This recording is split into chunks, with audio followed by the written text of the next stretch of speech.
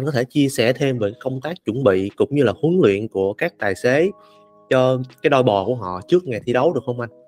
Đô thì nó nằm ở địa bàn ấp Vĩnh Thượng, đó dạ. có nhiều bò đô lắm thì không phải bò nào cũng được đua trước đó hai tháng là khi mà sư đã chọn ngày để tổ chức rồi á, những cái bò mà yếu yếu là chưa từng đua đó, phải tập giờ thấy đua được á người ta mới đăng ký đua cái không tập rất là quan trọng. Bình thường thì thôi, nhưng mà người ta nó sợ lúc mà ra sân nó nó thấy ờ, trong kính chỉ vô không khí nó nắng nhiệt, nó không sợ. Chưa kể là nó không quen cái đường đua. Nó quy định ra tới sân đấu á là một vòng chạy chậm một vòng chạy nhanh. Nó phải giữ cái nhịp đó. Con bò ở ngoài điều khiển con bò ở trong nó phải nhịp nhàng nhau. Và cái, cái hướng rẽ của nó là đúng hướng rẽ trái chứ không được rẽ phải. Và phải đi đúng con đường đó chứ không có được chạy vô trong nếu mà nó chạy vô vô cái trái mà nó vô trong qua cái đường đường đường giới hạn đường liên đó dạ. giống bị loại. Cho nên à, hiểu, hiểu, hiểu. điều điều khiển nó rất là nhẹ nhàng. Và nghệ thuật mà điều khiển bò là đẳng cấp cao chứ không phải bình thường những người dạ. mà điều khiển bò là chừng mười mấy tuổi cho con cháu ta dạy bò rồi nhưng mà nếu mà đem thi đấu được á chắc nhất là 3 đến 5 năm điều khiển bò dạ. người điều khiển bò người ta gọi là tài xế tức là dạ. người ta dịch ra cái gì là, là tài xế tài xế uh, lái bò đó dạ. điều khiển bò là tài xế chứ không phải là kêu này bò có số anh em uh, mình kêu như này người phải dân địa địa phương kêu bằng tài xế thì à. muốn làm tài xế phải huấn luyện từ nhỏ và gia đình là phải gan lì chung là té chạy chỗ này nọ thứ cũng chịu bò thấy nó chạy gì chứ nhưng mà đặc biệt một điều là khi mà gặp người ta nó thắng lợi nó không bao giờ đập người ta. Có khi nó nó thắng gấp quá thì nó nó gãy chân nó hay là nó nó té thôi chứ là không để gây gây thương tích cho cái người chủ wow. bò cái người điều khiển. Wow vậy bò lành tính kinh khủng và người ta thương bò lắm. Người ta tới ngày mà đua bò á trong vòng chắc từ hai tháng. Có rồi là được hưởng chế độ đặc biệt chăm sóc đặc biệt.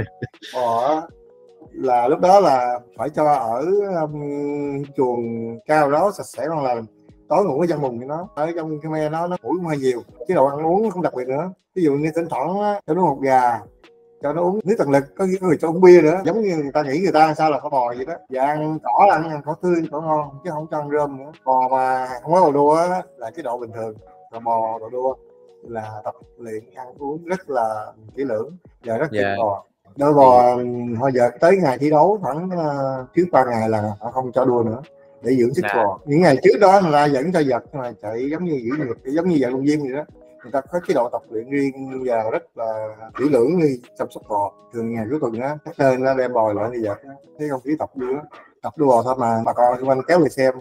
Rồi coi dò bò giống như coi gà nó đội đó nhìn dạ. tướng đó, đó con này hay hơn kia hay con này không đùa không hay. Nó nhìn cái dốc của nó nhìn cái cái cái xoáy trên mình nó nhìn cái tay yeah. nó ha.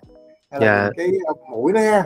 Nó sẽ đón được cái cái, cái nết bò đó mấy, mấy, mấy chú lớn lớn tuổi á chở uh, xe máy tới tới đó ngồi để nhìn lò. Đó, rồi bình luận ngồi vui lắm. Giờ à. tới ngày hội thì hỏi nó luôn. Họ rất là mê. Bò ra sân là cảm thấy ai cũng máu lửa lên.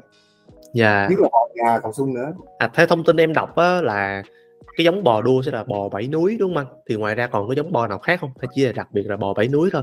Thực ra có khi mình uh, báo chí mình uh, mình viết đua bò bảy núi thì bò núi chứ bò ở vùng uh, bò người Khmer là hầu hết khoảng chín mươi trăm là bò từ Campuchia về.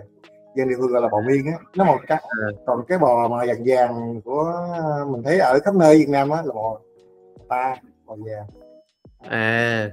Bò vàng cũng đua nữa nhưng mà do cái um, di truyền hay là sắc dốc gì đó nó không có to như cái bò của bò trắng của Campuchia. Và bò vàng thường là để uh, nuôi lấy thịt là nhiều. Vẫn thỉnh thoảng có những đâu bò bò bò vàng bò ta ra sân là, là bò đó là bò dữ.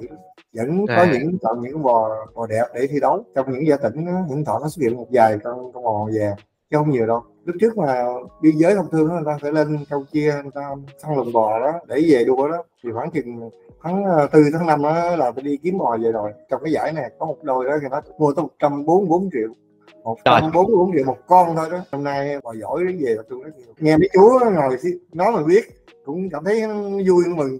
Khi mà có những bò mà mạnh bò dữ thì đấu với vậy này còn bò trung bình là khoảng trên 50 triệu con bò đua giá trị nó rất cao. Em thấy đua vì đam mê chứ không có đua vì giải thưởng rồi đó. Đúng rồi.